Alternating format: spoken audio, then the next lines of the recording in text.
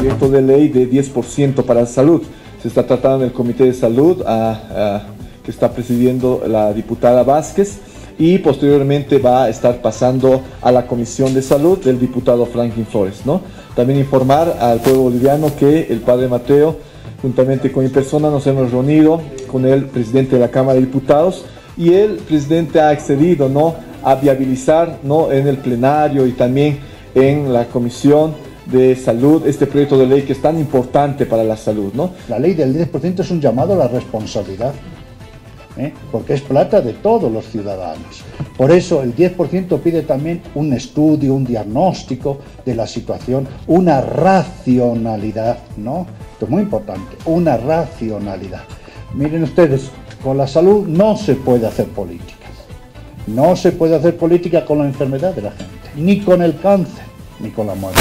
Pero tenemos que tener una buena política de salud. Por eso no se puede improvisar. El 10%, además de esta expresión de financiación, nunca menos de un 10%, y según las necesidades, debe tener este estudio sistemático de necesidades.